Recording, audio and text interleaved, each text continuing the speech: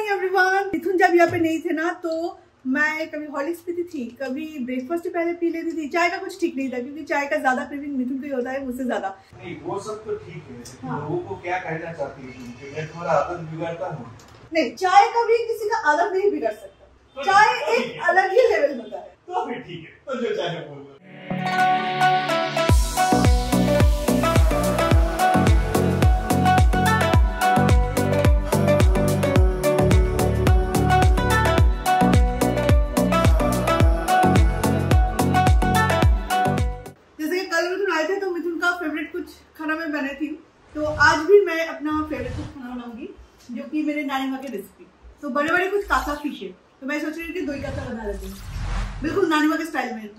आज मैं अपने नारी माँ की एक रेसिपी बनाने वाली हूँ।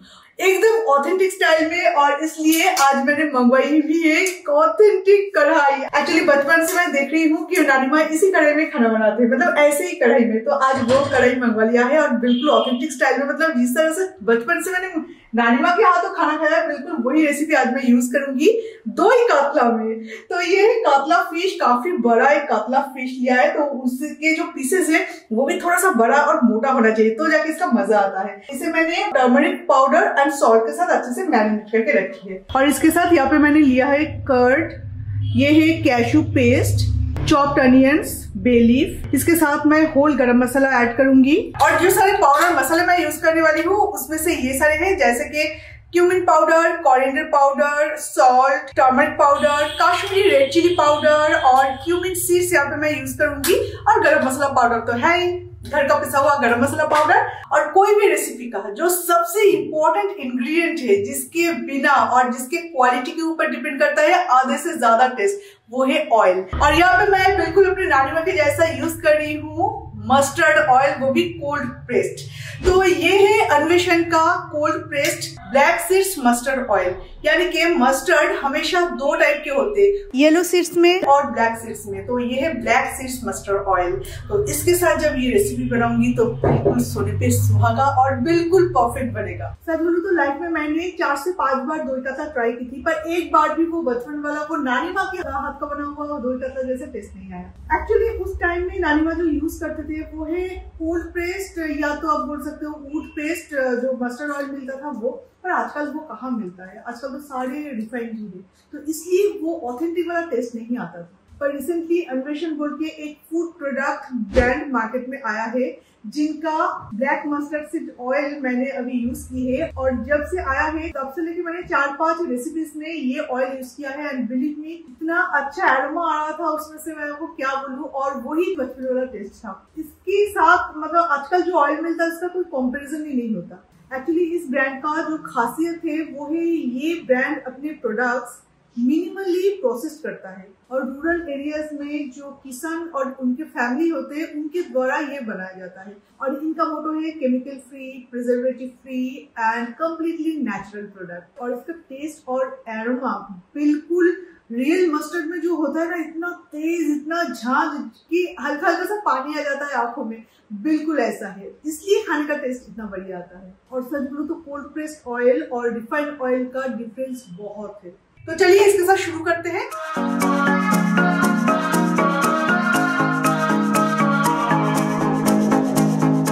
टूथपेस्ट ऑयल रिफाइंड ऑयल की तरह हाई हीट में केमिकली प्रोसेस नहीं होता है। ये केमिकल फ्री है और ऑयल सीड्स को स्लोली क्रस्ट करके ऑयल एक्सट्रैक्ट किया जाता है। और रिफाइंड ऑयल की शेल्फ लाइफ बढ़ाने के लिए हाई हीट में केमिकली ट्रीटमेंट किया जाता है। और इसलिए ये इतना न्यूट्रियस नहीं है। और हार्ट हेल्थ के लिए भी ये अच्छा नहीं होता है और बहुत सारी बीमारियों का कारण भी ये है। और ये toothpaste black mustard oil farm fresh mustard seed से बनाया जाता है। ये 100% परसेंट प्योर है वेगन है प्रिजर्वेटिव फ्री केमिकल फ्री और ग्लूटेन फ्री भी है। ये मस्टर्ड ऑयल वुडन कलश में लो टेम्परेचर में पेस्ट करके बनाया जाता है, जिससे ये इंश्योर होता है कि इसमें न्यूट्रिएंट इंटेक्ट रहे। सिर्फ़ यही नहीं टूथपेस्ट मस्टर्ड ऑयल सबसे बेस्ट कुकिंग मीडियम माना जाता है, क्योंकि इसमें ओमेगा थ्री फैटी एसिड है और एंटीऑक्सीडेंट्स भी काफ़ी ज़्यादा मात्रा में होता है। इसलिए ये हार्ट हेल्थ के लिए one of the best oil है। ये oil not only use for cooking ये स्किन हेयर के लिए भी आप यूज़ कर सकते हो, क्योंकि ये हेयर और स्किन के लिए बहुत अच्छा है।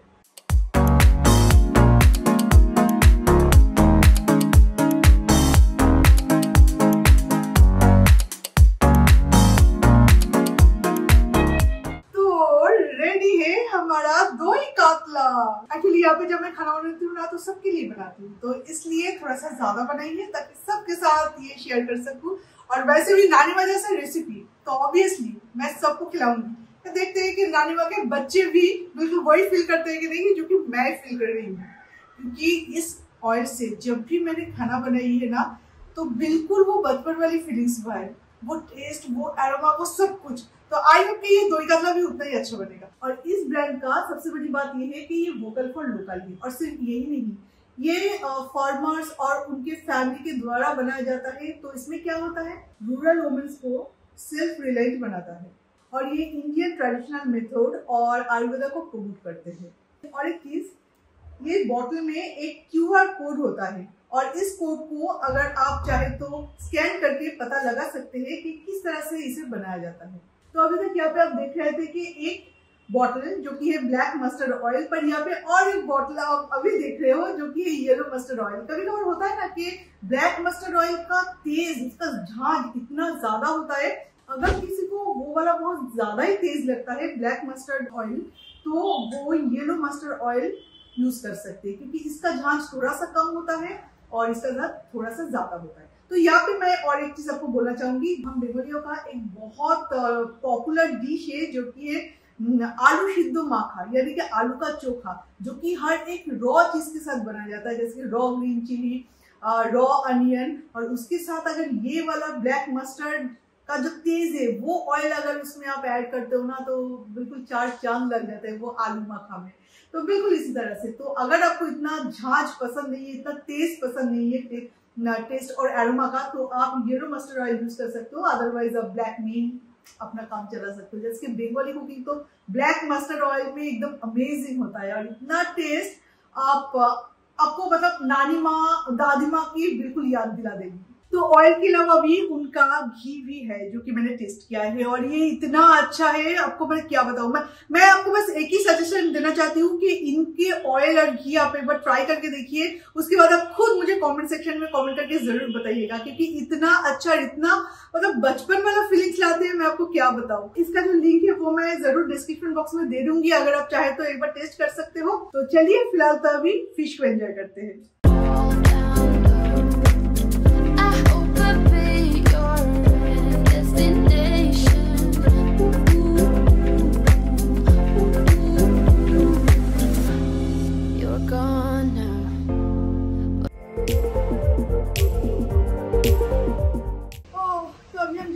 अरविंदा पे जो सारे छोटे मोटे चीज़ बाकी थे वो सारे हम जाके लेके आएँगे। कैब में जा रहे हैं और स्कूटी लेके आएँगे क्योंकि कुछ स्कूटी अभी भी वहाँ पे है। ऑफ़िस जाना है आज बहुत ज़्यादा काम लेके जा रहे हैं। चलिए और एक बार उस घर को अगर हो सके तो मासी है वहाँ पे? हाँ मासी है। तो मासी को भी एक बार दिखा देते हैं। चलिए।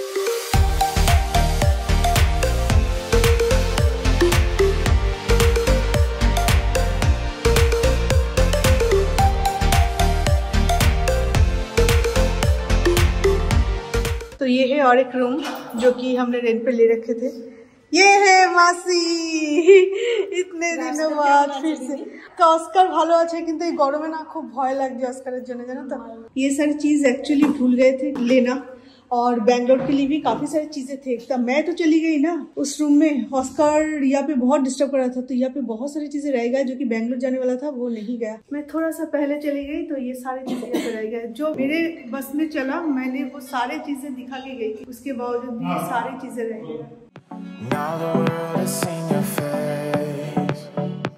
सारे नए बैटरीज फिर ब्लू और ये जो सारी चीज़ें वो सब मिल गई और बाकी की जो सारी चीज़ें मतलब मैं बैंगलोर ले जाने वाली थी पर अभी पॉसिबल नहीं कि मैं ट्रेन में बोल रही थी लेके जाओ तो वो सब मैं अ, मासी को दे रही तो कोई अपना यूज़ करे तो ये जो फ्लैट है ये फ्लैट एक्चुअली हमने हमारा जो एक्स्ट्रा सामान है वो रखने के लिए लिया था। और इसका टूर तो कभी हम लोग करवाया नहीं पर ये है पूरा घर। और ये है मास्टर बेडरूम सोसाइटी के इनसाइड और ये है हमारा वो रूम जहाँ पे हम इतने दिनों तक थे। पूरा कलर करके दिया गया आप देख सकते हो। यहाँ पे जितने भी क्लिप्स लगाया गया था ना, कि मेरे प्ले बटन के लिए वो सारे निकाल दिया गया। और ये रहा पूरा किचन किचन के सारे चीज़ें। और ये है वो वॉल जहाँ पे हम अलमीरा बनवाए थे ना तो उसका एक निशान भी नहीं है। यहाँ पे लाइट था वगैरह सब कुछ पहले की तरह करके दिया गया है। तो उनके जो भी था वो सारी चीज़ें हमने अच्छे से दिखा दी। और उसके बाद फ्रिज चल रहा है वॉशिंग मशीन सारी चीज़ें परफेक्ट है और ये सारी चीज़ें उनके बड़े भाई आए थे दिखा दिए। तो अभी हम जा रहे हैं डाउनटाउन मॉल एक्चुअली कुछ काम था स्पेंसर और हेल्थ एंड ग्लो में तो वो भी मेरे वीडियो के काम के लिए।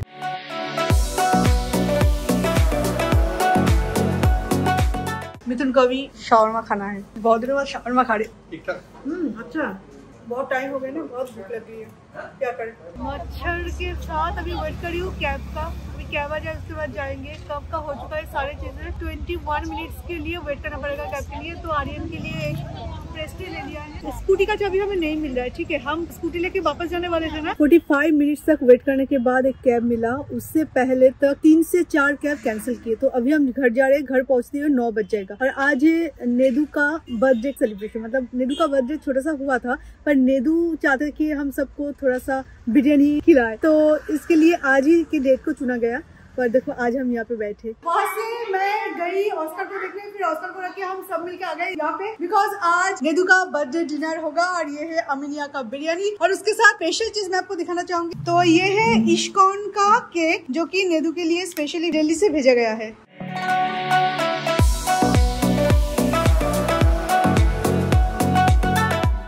बिरयानी का पिरामिड और ये है बिरयानी के साथ साइड डिश ड्राई चिकन का एक आइटम और उसके साथ साथ आज आइसक्रीम पार्टी भी है ये देखो happy birthday to you happy belated birthday happy second birthday एक ही साल में happy second birthday to you নিরামা একটু ডায়াবেটিস হবে না নাতির জন্মদিন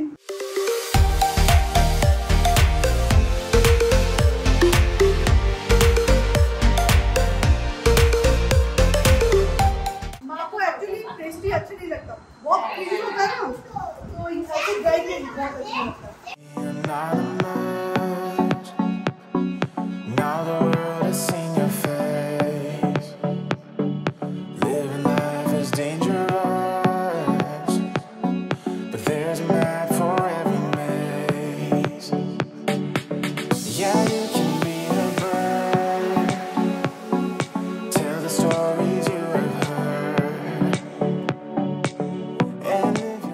आज तो ही चला गया, ज़्यादा से ज़्यादा टाइम उसके बाद अभी लिटरली मैं बहुत ज़्यादा थक चुकी हूँ। अभी मुझे लगता है कि थोड़ा सा नींद की ज़रूरत है। एक अच्छा सा अगर स्लीप हो जाए ना तो उसके बाद थोड़ा सा फ्रेश फील करूँगी। वो भी कल सुबह पॉसिबल है। और ये है ऑस्कर का खाना, जो अभी मैं उसे खिलाने वाली हूँ। और उसके बाद मैं थोड़ा सा सोंगी आज और नहीं हो रहा है। और आजकल ओला उबर में जो होता है, वो तो आपको पता ही है कि अभी एसी नहीं चलाते वो लोग। और पूरा विंडो खुला हुआ रहता है। और जो लू है ना, वो पूरे फेस को जैसे जला देते हैं और इतना तबीयत खराब लग रहा था मुझे, मैं वो क्या बोलूँ? फिर वहाँ पे गए, सारे घर वगैरह तो आपको दिखाई, चाबी भी हमने हैंड ओवर कर दिया तो इस तरह से चल रहा है तो अभी और और बात नहीं कर पा रही हूँ, क्योंकि लिटरली आज मैं बहुत ज़्यादा टायर्ड फील कर तो कल आपसे फिर मिलेंगे और एक नए वीडियो के साथ। तो चलिए अभी के लिए टाटा बाबा and good night I think I like it how it is.